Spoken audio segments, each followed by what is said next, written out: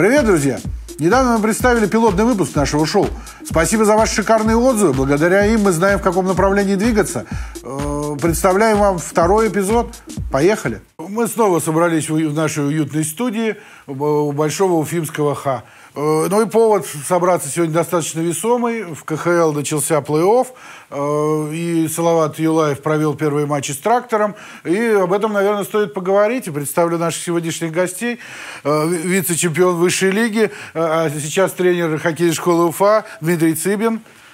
Всемирно известный художник – хоккейные карикатуры которого ненавидят в Казани, Магнитки и Омске, но обожают в Уфе, Камиль Бузыкаев. Ну, за Салават Юлаев. Ну и э, человек, променявший трактор на Салават Юлаев, э, обозреватель э, портала про Уфу Екатерина Щуркова. Всем спасибо, что пришли. Э, ну и, наверное, да, э, в первую очередь, какие впечатления у всех от э, домашних матчей? Не, не самое, скажем так, удачное начало получилось. Вот хотелось бы у Дмитрия в первую очередь, как у специалиста, спросить все-таки, что помешало Салавату так хорошо, хорошо начать? Ну, помешало, как, что помешало. Тут понятно, что в плей-офф слабых соперников-то не будет. И тракторы подошли организованно к этим играм. Первую игру мы видели, они, скажем так, прям максимально старались не давать нашей первой пятерке сыграть, что-то создать. И в целом, в общем, у них получилось. Несмотря на то, что вроде мы и перебросали, но все-таки э, многое они не дали нам сделать, много таких моментов э, создать. Э, ну да, мы, наверное, изначально все понимали, что простой этой серии и быстрой она не, ну, не да. станет. Э, но вот мне показалось, что даже не столько они вот именно первую пятерку закрывали, сколько они против всех пятерок играли одинаково э, активно и, в общем, не давали играть не только первому нашему звену, но и остальным тоже. Единственное, вот четвертого звена казалось, что чуть больше свободы, да, и Владислав Картаев Два неожиданно, гола, да, забил неожиданно в, в обоих матчах, да. Стал лучшим бомбардиром и снайпером лидером на некоторое время, да, потом э, Хартиканин догнал. Ну, Камиль, как вам э, э, серия вот начало? Ну, не знаю, мне как болельщику Салавата, конечно, хотелось бы, чтобы мы выиграли обе игры. Только вот мы опять натолкнулись на такой хоккей, который э, абсолютно вот не подходит э, Салават Юлаеву. Да, вот мы это видели раньше допустим, Белельдиновский он какой-то такой закрытый, осторожный, аккуратный. Салават такой игры не любит. Вот то ли дело вот с авангардом в прошлом году, там аж искры из глаз, да. Ну, вот такой соперник. Ну, мне кажется, что Салават должен пройти, потому что ну, как бы добро всегда побеждает зло. Действительно. В нашем случае зеленые должны победить черные. Ну, конечно.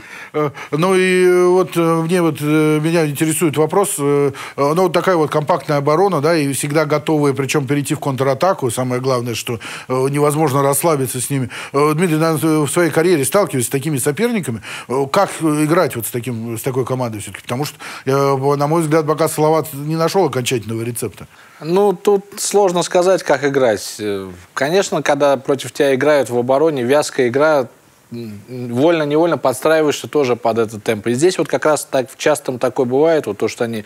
Все-таки я согла... настаиваю на том, что первую пятерку больше как вязали, больше провоцировали, больше там силовых старались оказать.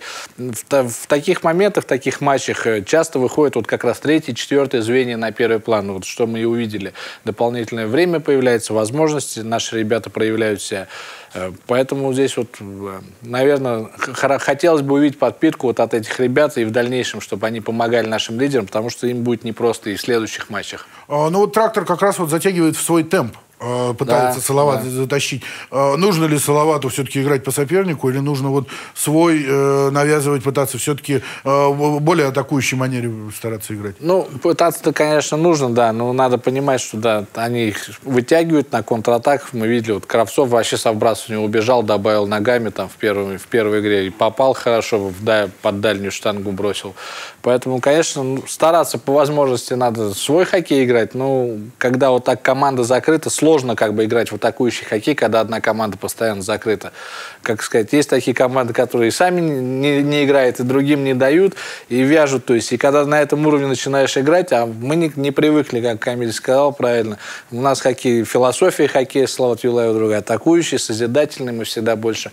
Поэтому не просто нашим ребятам, безусловно, быть непросто. Ну, будем надеяться, что они справятся с этой непростой задачей.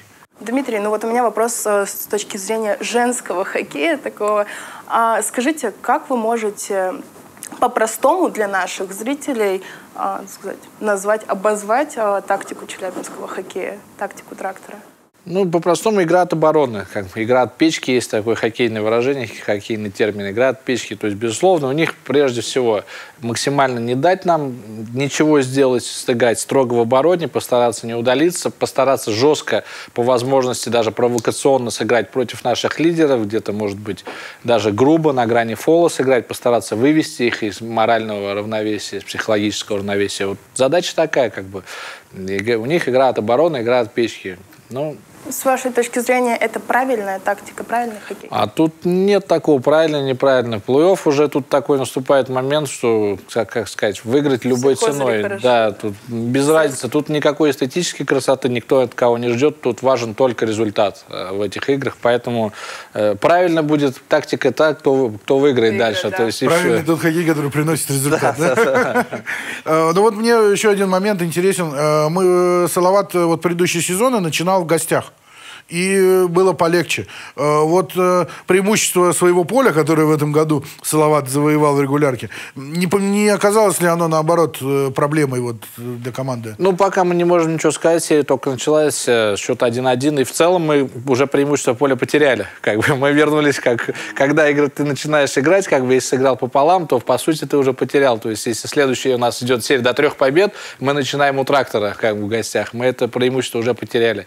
Поэтому тут сложно сказать, э, как это сложится. Посмотрим. Надо по, по итогам серии мы сможем уже это оценить. Э, ну, просто вот есть такая у меня версия, и, в общем, многие видел, высказывали, что Салават вот в первом матче просто перегорел. И, то есть очень готовились, очень хотели, и плюс давление трибун. И вот, то есть, как раз, может быть, в гостях бы было, может быть, легче начинать.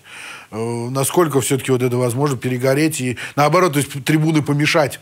Такое бывает, да. Бывает при своих трибунах слишком заряжены, и эта излишняя заряженность, она выходит, так сказать, боком. Где-то удаления на эмоциях возникают, где-то не хватает холоднокровности при завершении момента, в такие, когда слишком ты накален страстями вот этими.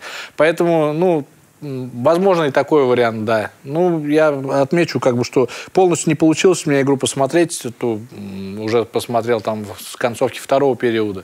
Ну, трактор как бы пытался свою игру все-таки навязывать в первой игре, у него получалось это. Ну, в общем, во второй, наверное, где-то половину матча у них им это удавалось. Э, но вот тот э, хоккей, который Салават Юлаев показал во втором периоде, может быть, где-то половину периода, и в овертайме, э, насколько вот команда способна, на ваш взгляд, именно зафиксировать и сыграть вот в такой хоккей, который результат дает? То есть Салават сможет дальше играть вот так, как во втором вчера играл? Ну, я думаю, что вот по индивидуальному мастерству игроков э, Салават, он ну, сплошные имена. Ну, что там вот, даже последний гол Хартикайна, если посмотреть, там, там Грамлунд выдал такой пас, он между ног у своего и, и у защитника успел же это пропустить, а Хартикайнин все это еще и увидел, что к нему шайба летит. Понимаете, это вот ну, не знаю, это мастерство или сыгранность, хотя вроде вот первый сезон играют, да, там, до этого же они нигде не играли вроде. Нет, нет.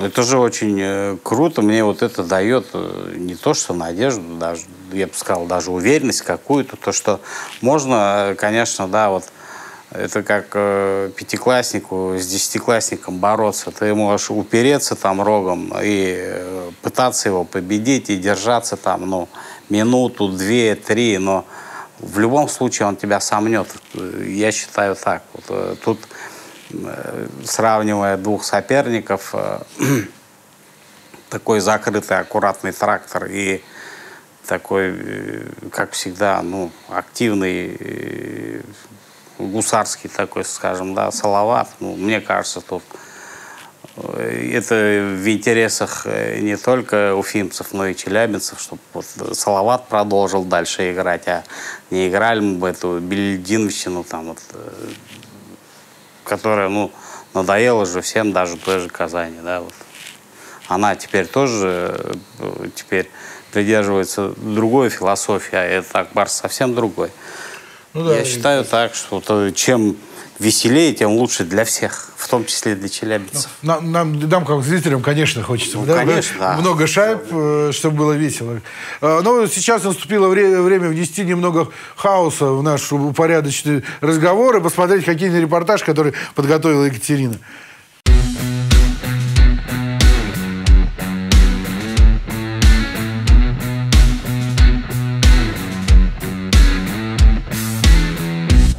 Мужчина, здравствуйте. Добрый день, вечер. Серьезное заведение. Большой уфимский ха. А что происходит? Играем в Салат Вилаем Уфой. Вы же гостеприимные. Продуют они сегодня, продуют. Трактор чемпион. Приехали из Москвы. Очень нравится первый раз у вас здесь, в Уфе. Вот так вот. А игра. с чем приехали-то? Приехали к друзьям в Уфу. Сходить в уфимские бани и на Салават Юлаева. Привет, за какую команду болеешь? Я, конечно же, болею за команду Салават Юлаева. Надеюсь, что он сегодня победит. Ведь для этого я здесь. Почему здесь люди ходят в белых майках и с символикой медведя какого-то? Не знаю, не ошиблись, наверное. Им скоро уже выходить, после первого периода. Мы первый раз на этой трибуне. Почему все в медведях? Ну, медведь наш символ. Вот. Медведь нам помогает выигрывать, он сильный. Вот. И поэтому мы медведи, и мы готовы всех порвать. Скажите, а чем челябинский трактор смазывает свои шестеренки? На льду смазывают, наверное, не знаю. Льдом? Кровью соперника. Любовью зрителей. Да, в общем-то, они у нас смазаны весь сезон неплохо. Вот. Нам не нужно дополнительную смазку какую-то. У нас профессиональная команда, профессиональная бригада, так сказать, смазчиков, которые, в общем-то, работают в течение всего сезона. Вот. И дополнительной смазки нам ну никакой не нужно. Не знаю, чем смазывает трактор своим шестеренки, но я помазываю чешминским маслом. Скажи мне, что все-таки повлияло на то, что нам забили гол? Э, повлияло, повлияло пробки, наверное, Уфы, которые... Не, если шутка. Ну, смотрите, это плей-офф, во-первых. Это другая, другая игра, другое настроение. И я, ну, видно, что все мы волнуемся. И наши хоккеисты бравые, они очень понимают, какой... И главное, что вот здесь, чтобы эмоции, не, эмоции и, конечно же, какое-то волнение, чтобы отступило. Самое главное, разум четко. А так все будет хорошо. Я даже знаю, кто выиграет. Потом скажу. Извините, здравствуйте. Здрасте. А сегодня сборная Бразилии играет? Конечно, как всегда. А с кем? С трактористами? С трактористами. Бразилия с трактором? Конечно, конечно. А на кого ставите? Кто победит сегодня? Бразильцев, только на Салат Вилаевских бразильцев. А где красивее девушки? В Уфе или в э, Москве? На любителя. Самаре. Подгорает? Нет. Подгорает? Конечно, подгорает. Сердцем, как говорится, болеем за них. А ты куда стоишь в очереди? Попить, пить хочется. Девушка, здравствуйте. Скажите, где симпатичнее парни, в Салавате Юлаеве или в тракторе? Конечно же, в Салавате Юлаеве. В Салавате. В Салавате, конечно. Естественно, утро. У Салавата. Салават. А брачный период у тебя уже тоже идет? А почему такой счет? Ну, это только пока. Скоро будет по-другому, в нашу пользу. Поэтому наша Бразилия. За кого болеете? За Салават. Всем сердцем за Салават? Конечно. Конечно, всем сердцем за Салават.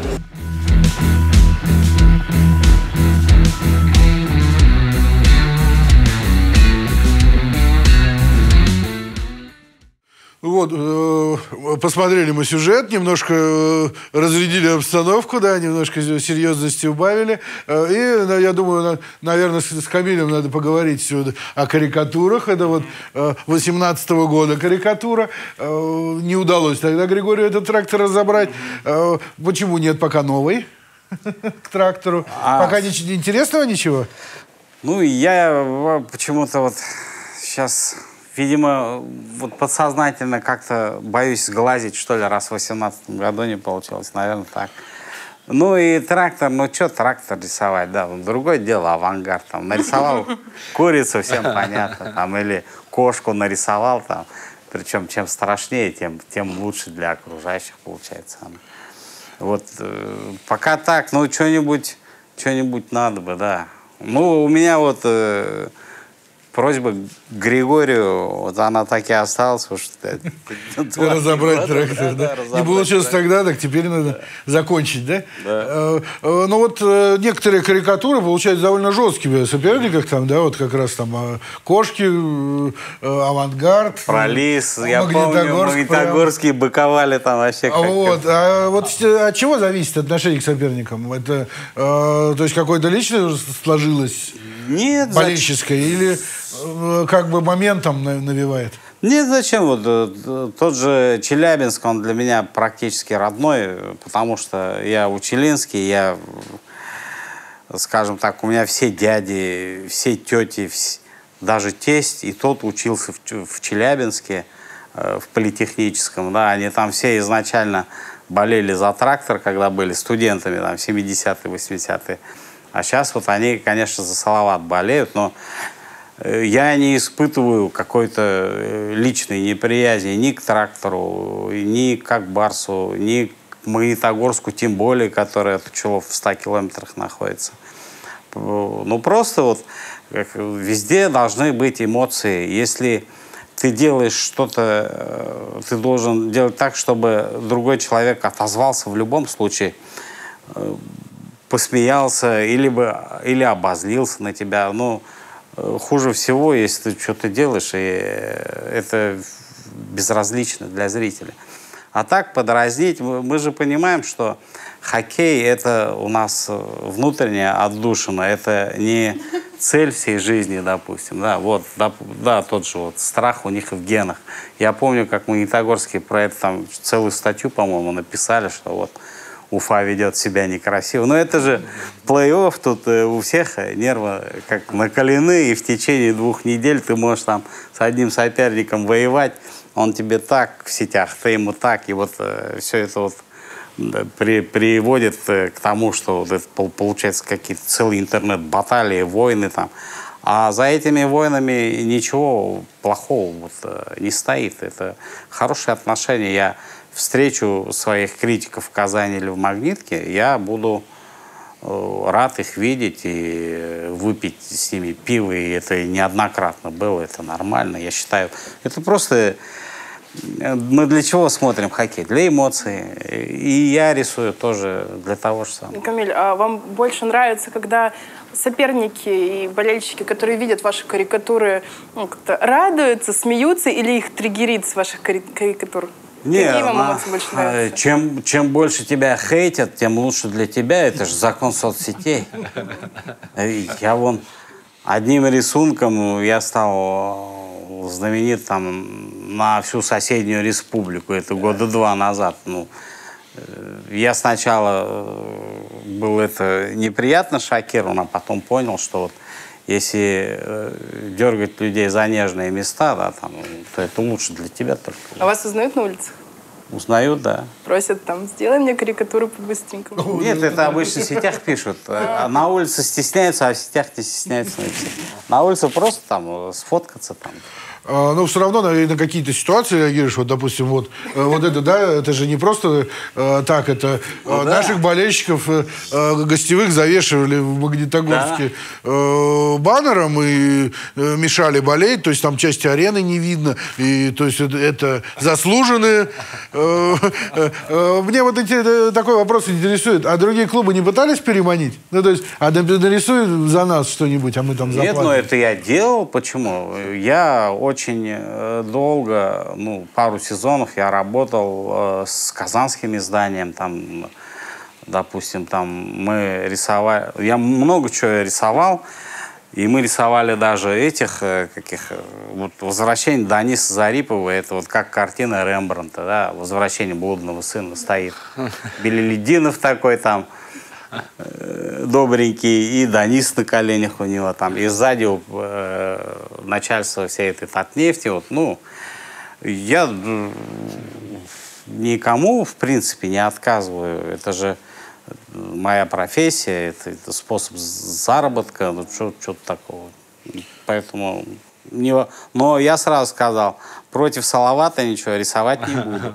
Но Салават я тоже поддевал, конечно, когда они спалились там пару раз. А вот вы когда Салават поддевали, было такое, что хоккеисты там в личку писали «Удали! Ну, Удали!» нет, не то, они так не пишут. Они, э, мы потом как бы обсуждали это с героями этой карикатуры. Они говорят, ну а что делать? Ну было, было. чё». Они же, в принципе, как бы такие парни тоже очень... Ну и головастые, и с юмором, все они понимают. Но бывает такое, что вы же, получается, сразу же выкладываете карикатуру, не обсуждая с героем. Нет, конечно. Не Какой было, вообще, интерес? не было вообще ни разу того, что тебе ну, хоккеист писал там, ты что, опух? Нет, ну, бывает, э, пишут э, клуб. А, Х- Хоккеисты э, редко пишут, а чаще пишут клуб. Вот. э, Они э, иногда могут и тему подогнать какую-нибудь, там, типа, вот давай вот обратим внимание вот на это. Там. Я с удовольствием отзываюсь, конечно, там. и не за деньги, это же клуб. Ну, Э, Ну вот э, последние пару лет поменьше стало рисовать. Э, Общественно-политическая повестка захватила? Или в хоккее меньше стало таких событий, которые, на которые хочется э, отреагировать? Да нет, почему? В прошлом году вот у нас, да, вот, э, тот же «Авангард», э, серию с «Авангардом» я вот смотрел с большим интересом. И если смотришь с большим интересом, я ее и сопровождал, очень много рисовал. Я даже начал было готовиться уже как Барсу, там, что вот там добро пожаловать на кладбище домашних животных, что-то я рисовал такое, да, там, кошака какого-то. Ну, очень жаль, что это вот не случилось. А так я вот прошлый сезон, прошлый плей-офф, мне ка- казалось вначале, что это будет просто какое-то фантастическое такое ощущение у меня было, да. Ну, господа, согласитесь, прошлое, начало прошлого плей-офф было очень огненное. То есть оно многообещающее Да, было. да, и вот эта безусловно. ковидная вот эта си- ситуация, она немножко оставила а, какой-то осадок. Согласен, и даже вот Умарк, э, да, вот в прошлом году он э, еще зимой объявил, что он покидает в этом сезоне, и что он в этом сезоне чего-то добьется, он нам обещал. Мы же все этого ждали, и очень жаль, что так все получилось. Я вот даже был ужасно расстроен, когда вот прочитал, что вот зафрахтовали самолет и улетели. Я думаю, блин, ну как так? Ну, ну, Ну, потом могли бы не, не просто здесь да, застрять. ну, оказалось, что все правильно. Но человек, он же всегда верит в лучшее. Я надеялся, что плей-офф мы доиграем. Вот, не знаю, там что-нибудь придумают. Ну, потому что ну, вот, искры летели. Ну, нет, ход без добра. Этот сезон, получается, э, не хуже, я думаю. Ну, согласен, должен, да, но- должен быть. Вот как раз говорили о том, что и своим достается, вот хоккеисты Салават Юлаеву Ну выносят, да, это уж- выносят мозг. Я, я был ужасно расстроен, тогда мы кому-то проиграли, конечно. Но это года два-три уже этой картинки. Э, Ну вот интересно еще такой э, еще вопрос. Все-таки художник, ну художники обычно мы представляем себе, что люди такие, да, возвышенные, то есть как бы э, не от мира сего, не очень интересуются вокруг происходящим, а у Камиля все наоборот. Он все время в повестке, все новости каждый.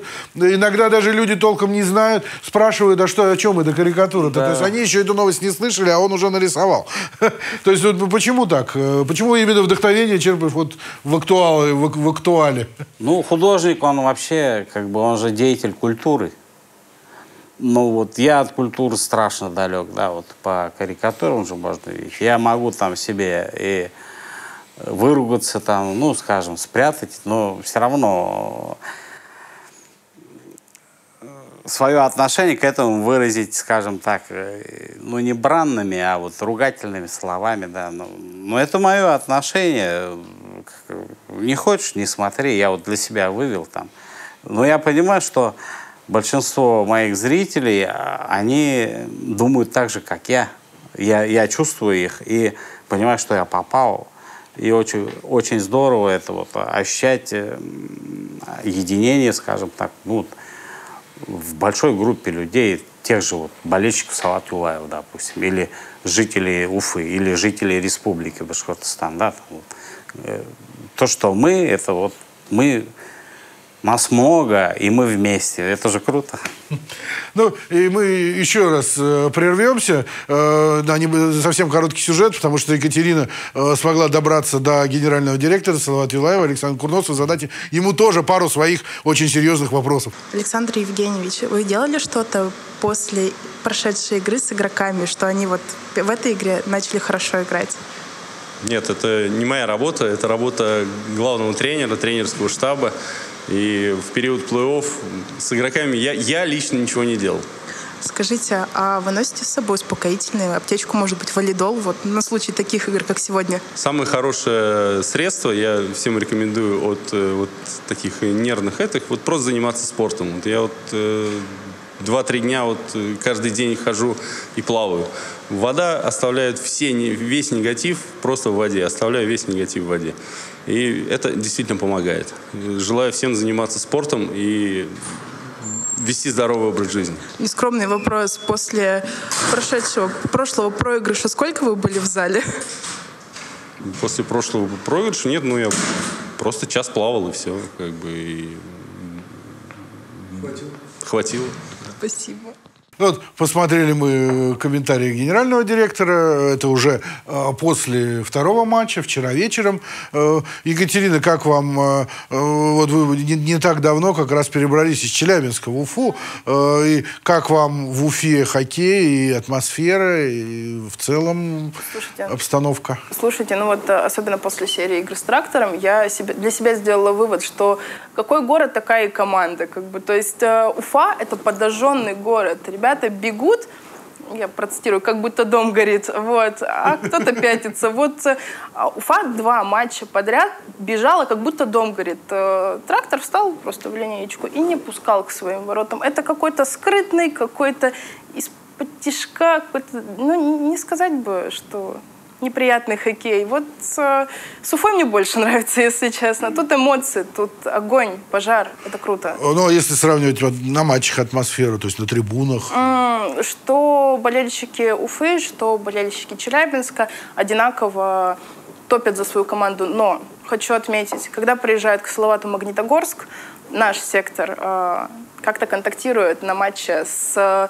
фан-сектором Магнитки. Челябинский же сектор, э, вот я в сюжете подходила к ним, это, естественно, ОМОН стоит, они где-то в себе, и если а, взлетает шайба, у них какое-то дикое счастье. Когда к ним залетает шайба, они сразу в депрессию, сразу начинается волна хейта в соцсетях, хотя ничего еще не произошло. Ну, То есть они да. очень, очень эмоциональные и чересчур чувствительные. Ну, Я думаю, про уфимских можно сказать то же самое абсолютно. Э, У уфимских, если смотреть, э, это по ходу матчей прям меняется три раза настроение. Могут Картаева полматча ругать, потом на руках носить, значит, это, это нормально. Наверное, это везде так. Я не думаю, что в каком-то другом городе э, есть какие-то другие болельщики. Слушай, ну у каждого фан-сектора, у каждых болельщиков, у каждого клуба своя атмосфера. Челябинские, они такие прям кремень. Вот они в- сегодня днем кували железо, пришли поорать потом на трактор. Трубопрокатный номер да. 69, да. А, да, то есть э, они там суровые, они серьезные очень. И очень серьезно относятся к своим проигрышам.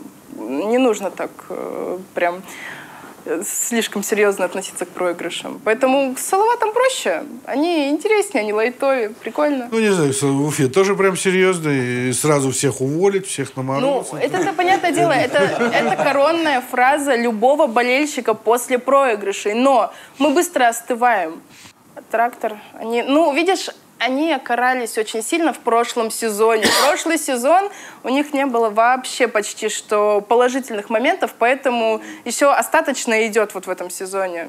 Ну, тоже неудобно, когда команда сначала на дне, а потом в следующем сезоне наверху. То есть перестроиться тяжело. Э, Честно говоря, они такие очень уверенные болельщики, да, там, что мы Салават, все пройдем, кто там у нас следующий. Э, Вроде, ну ладно, один хороший сезон регулярку вы провели, откуда такая уверенность? Мы- как автомобилист прошлый сезон, да? Они же тоже так вот там. Да, и то есть э, команда-то давным-давно ничего не выигрывала, там советских вре- времен не было трофеев, и да, то есть у них там бронза была в советское время, и все. 13 В финале они в финале да, да, да, «Динамо». да. Э, Медали у них были, да, но все равно это, то есть э, в наше время медали это... Ну не скажи, слушайте. Салавата этих медалей- Челябинск, когда это было мое, мое детство, мне было 16 лет, Челябинск пил неделю после этого.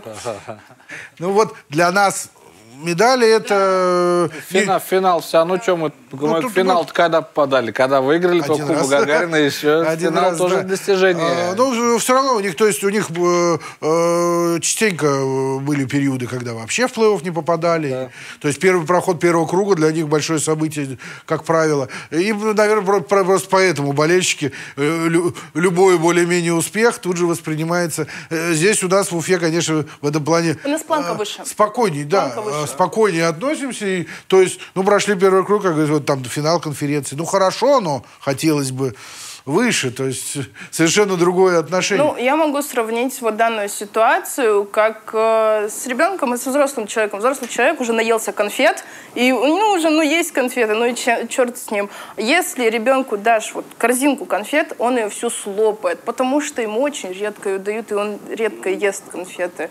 Поэтому также с трактором. У него уже победа, то, что он вышел в первый круг. В прошлый сезон это было, была большая чехарда с руководством, большая чехарда в составе. С У нас сменилось в Челябинске два тренера. э, Там, то есть, ну, у них очень больной сезон был, и поэтому сейчас то, что вышли, вышли на Салават, вышли в первый круг плей-офф со своим интересным хоккеем, как бы, они уже радуются, для них уже это счастье. То есть, Не, и, и даже у них Кузи ведь нет. А как-то вот вышли же. Страшное дело, да. Ну, слушай, я, я читала у одного очень интересного журналиста статью, и он назвал Анвара Гатитуля не- некромантом. То, что он оживляет мертвую команду. Может быть, действительно так. Но у него и выстреливают ребята. То в том же 18 году, когда Салават ему уступил, э, Кравцов, который сейчас уже состоявшийся хоккеист, э, был молодым начинающим, и он в плей-офф, а никто не ожидал от этого парня, что он станет лидером команды и э, потащит. Слушай, есть- да, вот э, многое зависит от тренера, потому что в прошлом сезоне Кравцов уезжал в Рейнджерс, потом приезжал, э, его встретил Скудра, по-моему, и отправил его в Челмет. Такой, ну иди, развлекайся. Вот э, у него был такой трансфер. Нью-Йорк, трактор, Челмет, Да, да, а с помню. Челметом они поехали в Учелы. Собственно, вот у человека Из карьерный рост. Учелы. Да. Учелы, отлично. Вот, у человека карьерный рост. А в этом сезоне все-таки Анвар, я так посмотрела, в него поверил. И, видимо, не зря. Что-то он ему нашептывает на ухо, что тот так играть начал. Э, Ну, вот у меня к Дмитрию вопрос, как, специ- как тренеру, специалисту. Э, У нас все-таки вот в Уфе когда-нибудь э, будет такой, ну, чтобы вот какой-то молодой, как вот Нечушкин в свое время, как Кравцов. Зачем тебе Амиров не такой? Сейчас, ну, чтобы вот он э, взял в плей-офф и выстрелил и повел за собой команду. Селевский. Вот был Василевский Вася. один раз, и все. Наверное, больше вот за последние именно 10 лет, наверное, больше никого назвать нельзя. То есть ребята э, какую-то планку держат, но вот чтобы э, прям лидером команды стать, пока мы такого не видим. Есть предпосылки к такому? Ну вот, да, у нас сейчас, вот, как правильно Катерина говорит, Шакир Мухаммадулин, Амиров, вчера у него был момент, мог решить, он в 1-0 вышел. Башкиров мог. Да. Башкирова были моменты, там шайба у него Да. уперлась как в скол льда, как будто и перескочила Да, на да. пятаке прям. Поэтому, ну, тут сложно сказать, появится. Я думаю, конечно, если Амиров останется, то есть еще год-два, он вполне может стать э, полноценным лидером, решать, ну, пока он сейчас идет на пути к этому, он сейчас хорошо смотрится, ему не хватает статистики немножко, вот завершения, то есть в целом он смотрится хорошо, как ну, уже как молодой лидер команды. Сейчас он смотрится вот по этим играм, даже первым двум.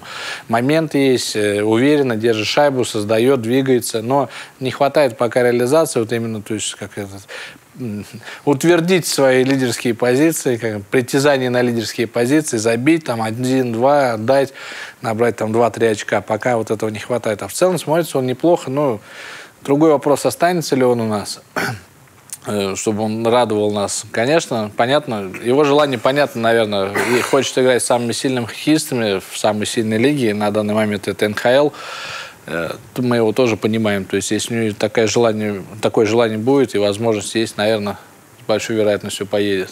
Э, Ну, э, наверное, все-таки вот возвращаясь к э, нашей серии, да, те- текущей. Ну, Дмитрий играл в Челябинске, знает, да, как там болеют тогда Екатерина оттуда.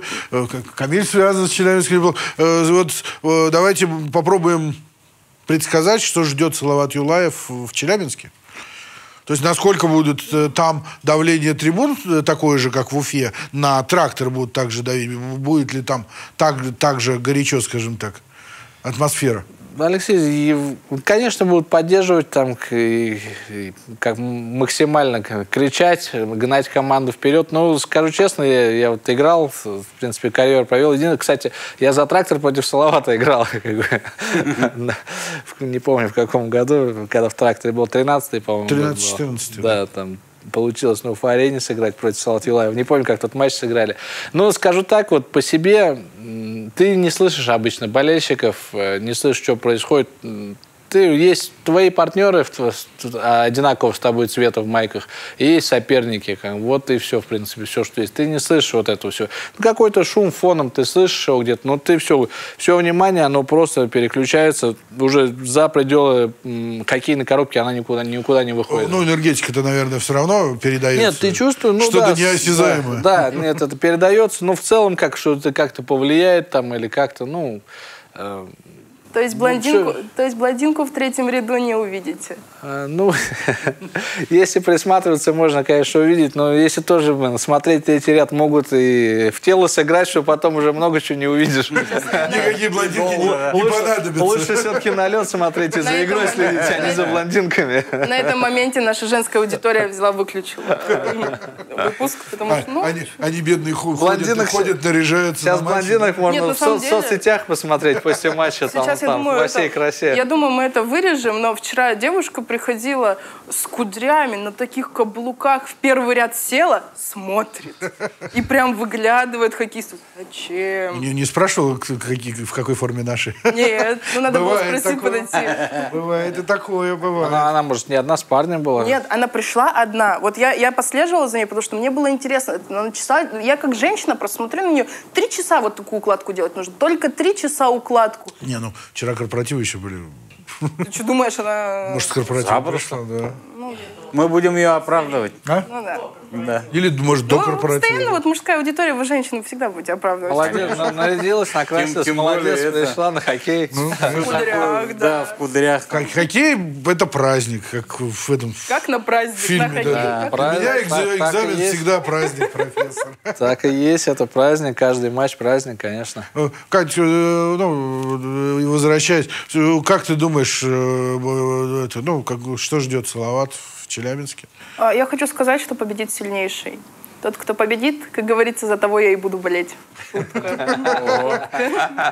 на самом деле, я все-таки склоняюсь к тому, что Салават своей прыткостью, он добьет Челябинский трактор. Эта ситуация мне напоминает ухаживание парня за девушкой. Вот она его так отклоняет, вроде отстань, вроде мой портфель ты можешь понести, ну, до дома.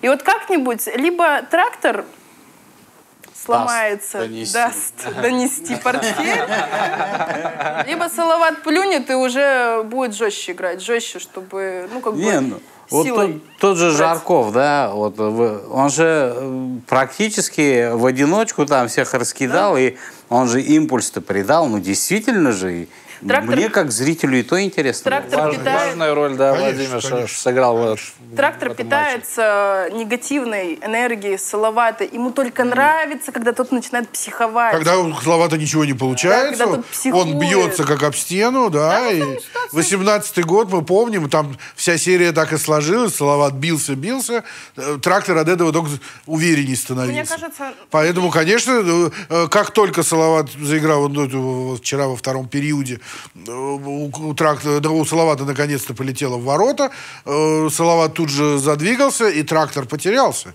Э, Тут же мы обнаружили, что достаточно у них медленные защитники, не успевают, э, и хаос тут же... э, И есть, вратарь так, ну, ну и вратарь, в общем, да. И мы, знаешь, Федотов, в общем-то, не сказать, чтобы суперзвезда. Если больше Салават из него делал, эту суперзвезду, бросая в него чаще да, всего.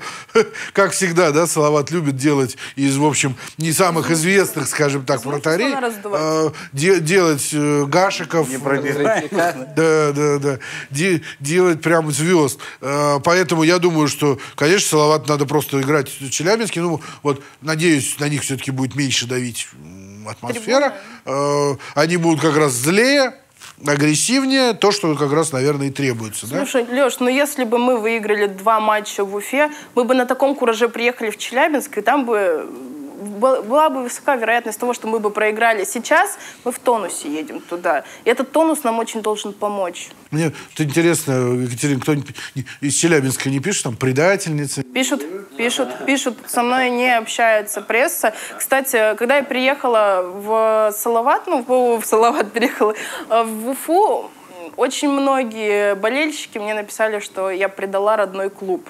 Перед э, серией с трактором мне писали, ну, конечно, ты сидишь-то на трибунах у Салавата, но сердцем ты, ты за родной город. Я говорю, а что мне этот родной город дал? Ты не думал, почему я уехала из этого, ну, от этой команды? Я говорю, делайте выводы. И многие пишут о том, что, мол, предательница, в Челябинск не возвращайся, все ясно, вот так вот мы тебя воспитывали, а ты ушла к зеленой команде. Это как, как оскорбление, как будто. Э, Ну, то есть, э, э, если подводить итоги нашего разговора, да, ра- рассчитываем, конечно, что в гостях Салават привезет нам как минимум еще матч, то есть пятый уже гарантирован, Ну, уже да. Чтобы и шиз- на выезде Салават, ну, как минимум одну победу забирать нужно, желательно и обе. Мы вообще будем настраиваться и верить, что да. мы три подряд выиграли, как бы ехали И готовились да. дальше. Да, Поэт- и- Поэтому, ну а как сложится, конечно, будем следить, смотреть внимательно, анализировать. Ну, мы будем заканчивать. Всем сп- спасибо, что пришли. э, Были рады видеть. Это был Большой Уфимский Ха. Всем спасибо. Пока. Спасибо. До свидания. Пока-пока.